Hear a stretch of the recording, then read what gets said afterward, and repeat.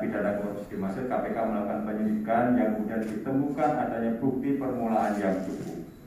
Sehingga KPK meningkatkan status perkara ini ke tahap penyidikan dengan mengumumkan empat tersangka sebagai berikut.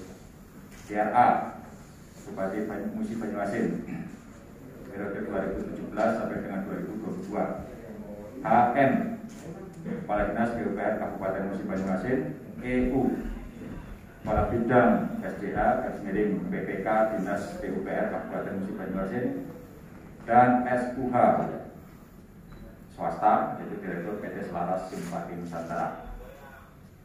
Adapun konstruksi perkara juga telah terjadi sebagai berikut.